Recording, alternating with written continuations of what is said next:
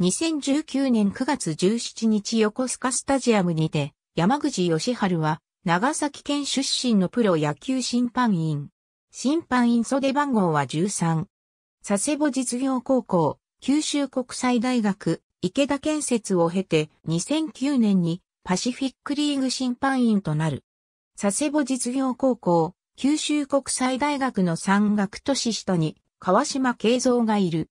2013年9月1日の千葉ロッテマリーンズ対北海道日本ハム20回戦で初の一軍公式戦球審を担当。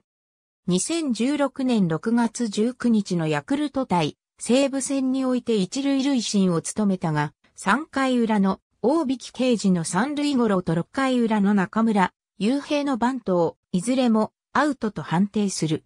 これに対して真中光監督が二度とも抗議したが、判定は覆らず、試合後に名指しで批判された。2017年4月の2軍戦で、観客にユニフォームを盗難されるトラブルがあった。結局、この試合では一塁の塁審を務めていた、岩下健吾審判員の予備の球審のユニフォームを借りて試合を務め、事なきを得た。2018年には同期入局の足原秀俊と共にオールスター初出場を果たし、第2戦で球審を務めた。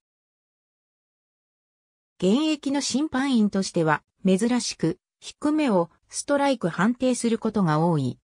見逃し三振時には、ボクシングでいうアッパーのような派手なジェスチャーをとっていたが、2019年シーズンには弓矢を引くようなジェスチャーに変更していたが、2021年シーズンには再びアッパーのような見逃し三振ジェスチャーをとっている。